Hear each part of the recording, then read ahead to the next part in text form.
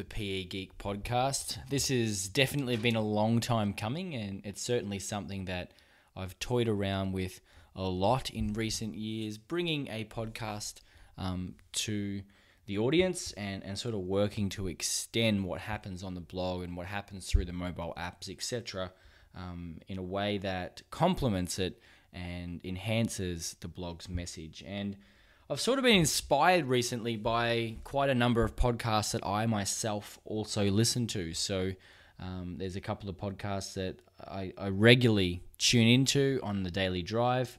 Um, and they've sort of been very inspirational in, in making me think about the whole podcasting journey again and sort of getting back into it and sort of building some more value for you guys, the listeners. So, um, for those of you that aren't aware, I'm actually now commuting over two hours a day.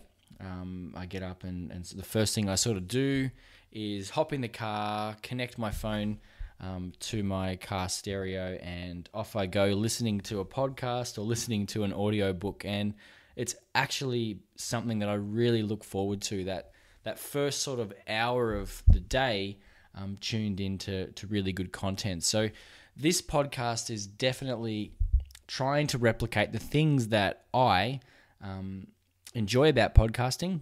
That the fact that they're useful, they're engaging, they're entertaining, and um, that you can really get something out of them that is actionable. So I'm going to keep them short. I'm going to keep them succinct. Um, I'm going to keep them as full of ideas as possible.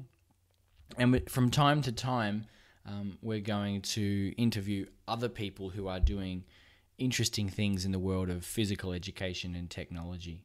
Um, we'll also have giveaways and prizes and, and ways that you can sort of um, continue the journey once the the podcast episode is finished. So, you know, without further ado, we'll we'll launch into our um, our first episode, and I really do hope you enjoy it. At any stage, you can view the episode notes um, for a podcast by visiting thepegeek.com slash episode one. And on that particular page, you're going to find all the things that we talk about for that particular episode. And um, we'll be able to even see a transcript of the show in case um, you're unable to listen. So let's get into it. Now, if you've been following myself on social media in the last month or you've actually been following the blog, you'll be aware of a product that um, I've recently purchased called the Fitbit Flex, which has, I must say, changed the way that I actually operate um, and engage in physical activity. Now, it's a really, really small, compact activity tracking device, and quite essentially, um, the amount of data that you can gather from it is, really, really extraordinary. So, what it is, it's it looks just like one of those um, basically wristbands that were really popular a few years ago. You know, you think back to Lance Armstrong and the the Livestrong bracelets that were around. You know, it somewhat looks like that, just a little bit, little bit chunkier. And um, basically, you wear it, and inside of it, it has a tiny little accelerometer. And the accelerometer basically measures any sort of movement that happens on an X, Y, and Z plane. It's known as a triaxial accelerometer.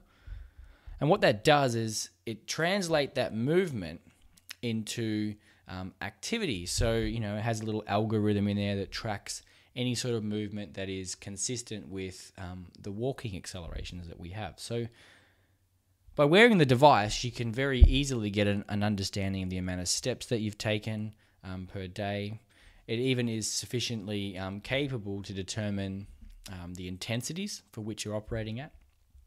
And you look at your, your graph at any given stage, and you can see the amount of time that you spent being physically active, those periods of time um, when they occurred, and you can even get a bit of a pie chart representation of um, you know how much sedentary time you had compared with physical activity and very physical activity um, intensive um, moments. So it is really extraordinary. Now, in order for it to work, um, well, it has been designed to work with iPhone and, and iPad devices um, from iPhone 4S and iPad 3 up.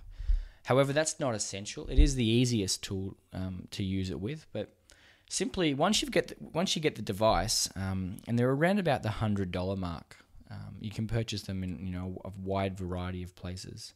Um, I grab mine at Amazon, and you can do that by going to the pegeek.com slash fitbitflex.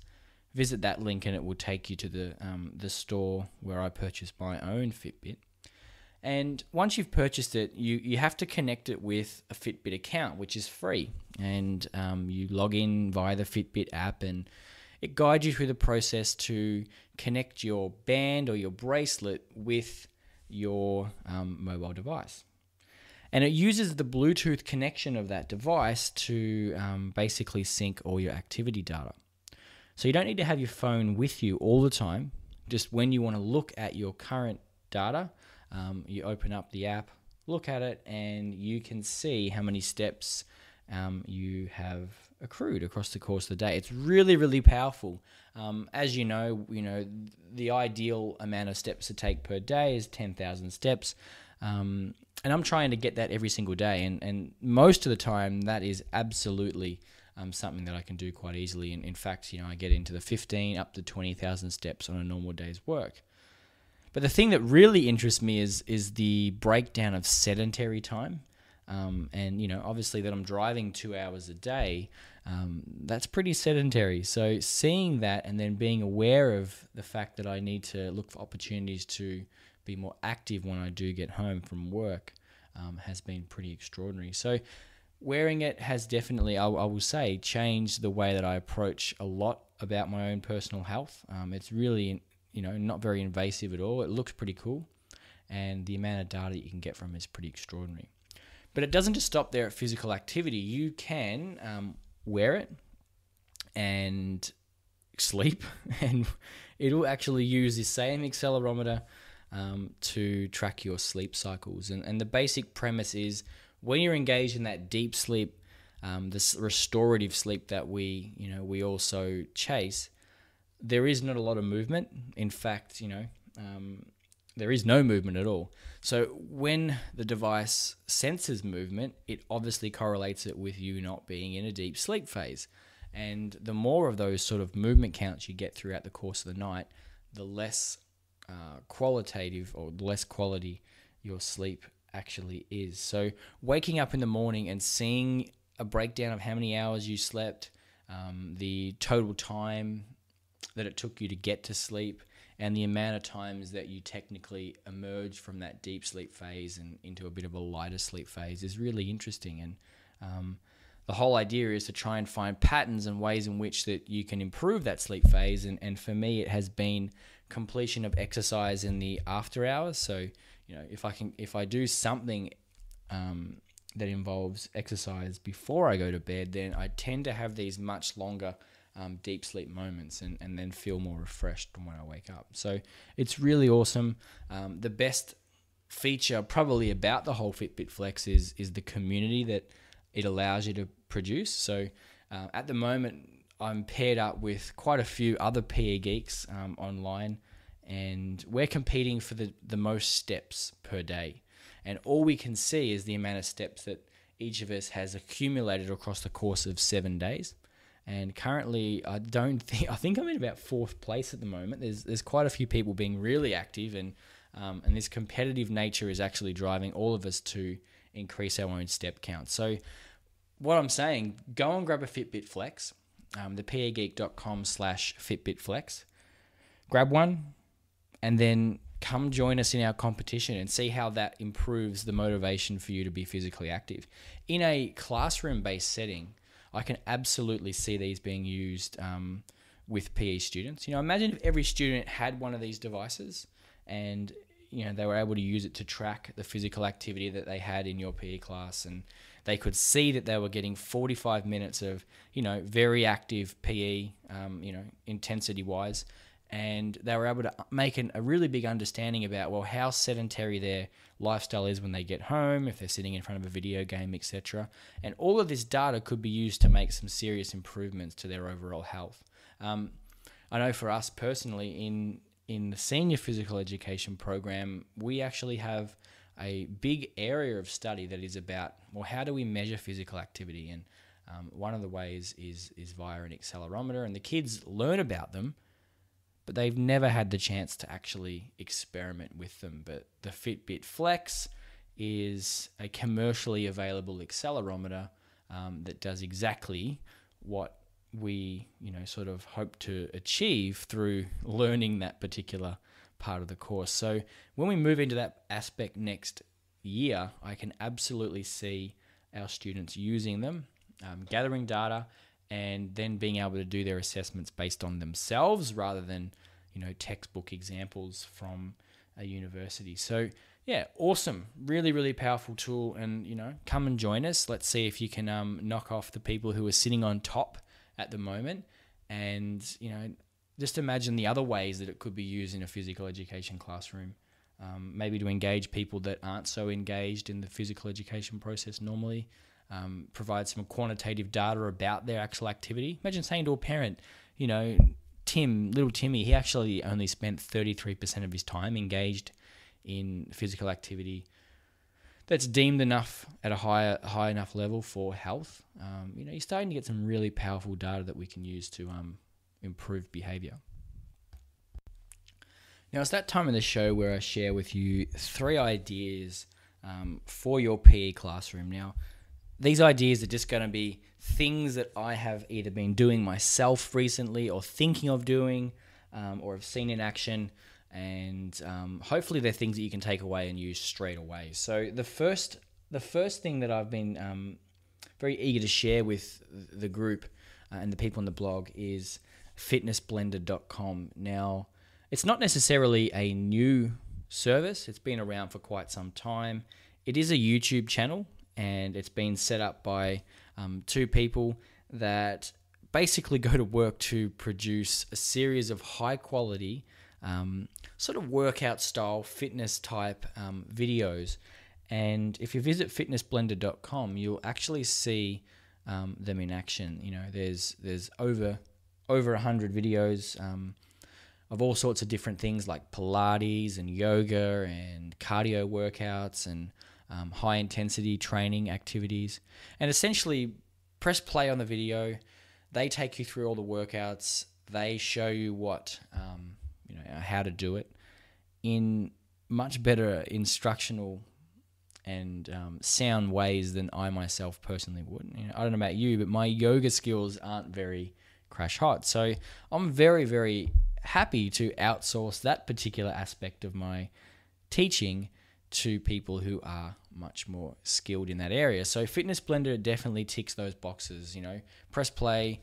You can even join in um, in the activity. It means that you know the students are able to see someone who's engaging in the activity, um, and I think that's pretty powerful. Um, but for me, I've been using it with our younger year five, six, seven students um, and utilizing them in the first part of the lesson, um, sort of like little warm ups and having the kids work through them and engage in the activity. You know, they only go for like less than 10 minutes, most of them. And it's a, they, they work to definitely, you know, reach the goal of the video. And it's certainly something that um, is free, is readily accessible, and I highly, highly value. The second thing I want to share with you is an app that I blogged about recently in my last top apps for PE teachers um, blog post. I think it was um, number 27. The app is called Teemo, spelled T E E M O, and you can um, you can find that on the App Store. It's it's actually technically only an iPhone app, but um, like all iPhone apps, you can you can play it and use it on the iPad, um, but it just obviously is not full screen. This app is brilliant and it actually is very much testament to the whole gamification process that we're starting to see happen.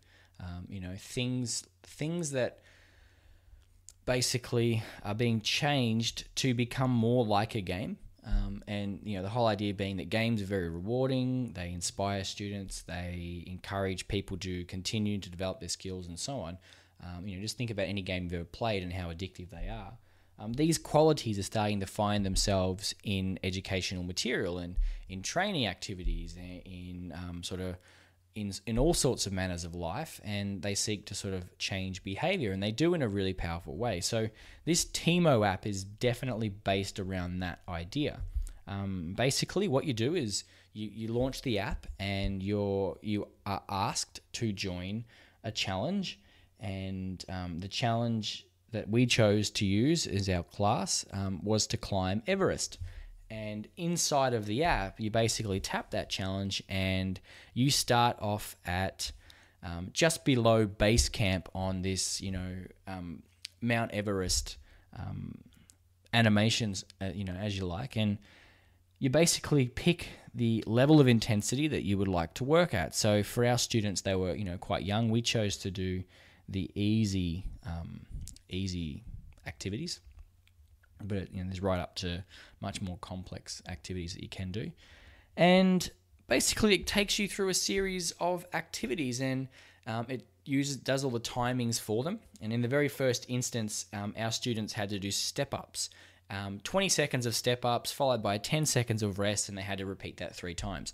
Once they had done that, um, we tap the button that says, okay, completed, and you see your little marker move from where you were on the map and it gets a little bit further up um, on its way to base camp. And all up, we did 10 different activities and then we finished at base camp. So, you know, we had the kids doing all sorts of things. And the fact that, you know, we weren't just doing the activities and getting nothing from it, you know, the kids were actually going and engage in the story and thinking, wow, you know, look where we are on the map. We're almost at almost at base camp. I think two more two more activities and, and we'll finally be there um, it was incredible. And you know the fact that that's just one of the challenges that you can do inside of the app, climbing Mount Everest, it's definitely going to keep us busy for quite some time. Um, and then we'll jump onto a new challenge and um, we'll progress. So go and check it out. It's called Teemo. You can um, you can grab it by going to the pegeek.com slash climb Everest. That's the pegeek.com slash climb Everest it'll take you to the App Store where you can grab the app. And I highly recommend it, even if it was only just for your own personal training. Um, you know, and this, this little gamified approach is actually encouraging you to do the activities that you've you know decided that you would like to do. Then brilliant. Um, you know, games are enjoyable. And if you can mix that whole approach with exercise, then even better. So, check it out with your students. Um, you know, we basically just connected our iPad to um, a projector and worked through it together. So one iPad, one projector, all of us working through the activities together and progressing as a class as a warm up. And the, the third and final idea that I want to share with you is is is actually again it's not a new app, but I think it's something that has gone under the radar a little bit.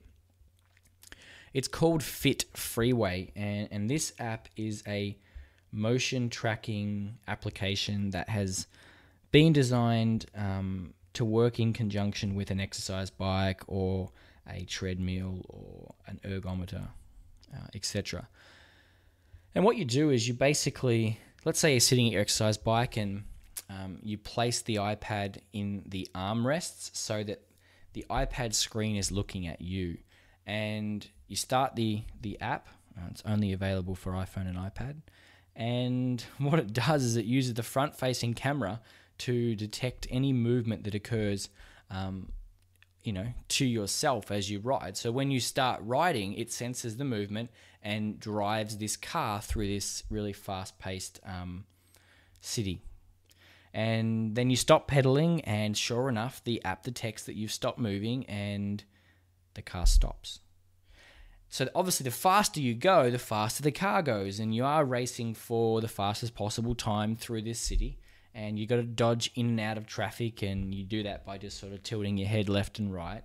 And you've basically turned something that is static, like an exercise bike or a treadmill experience, into something that is a little bit gamified again. So you know you've gone and made a very static experience um, a little bit more interesting. And uh, if you're looking at again using it for a warm up or looking at it from the perspective of you know a variety of different methods, um, you know training approaches, etc. in PE, then um, that whole gamified approach definitely works to make this all the more enjoyable. So go and check it out. There is a free version of it which works perfectly fine, but there's also the the paid version for $1.99, which just gives you a few more features and maps and so on.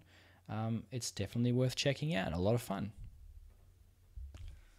So that pretty much brings us to the end of our first episode of this podcast. As I mentioned earlier, you can you can get the notes for this particular episode at thepegeek.com slash episode one. Um, as I mentioned, all the links to the apps we mentioned, any of the products that we um, reviewed, and anything else that we spoke about will feature inside of that particular um, section for you to check out. Um, just before we go, I'm very, very keen to share one particular person every single episode that I think people need to be um, following the work of. And in this particular instance, um, the person I think you need to be following if you are not already is Ashley Mills. And, and she is a, a PE teacher that works in Melbourne. Uh, Australia. Um, I have met her before and have been very impressed by the work that she's done in such a short time um, in the PE classroom. You know, she's only a recent graduate herself.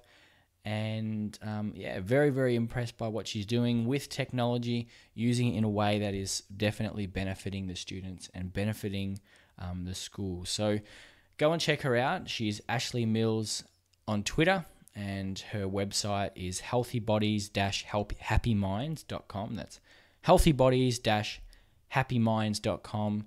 Um, she's very eager to share, very very eager to learn, um, and it's certainly someone that has yeah has been doing lots of stuff um, in in you know in the PE world to, um, to, you know to benefit everyone. So go and check her out, and um, I look forward to sharing with with you future people and and getting some of these people online um, to in the podcast episodes in the future.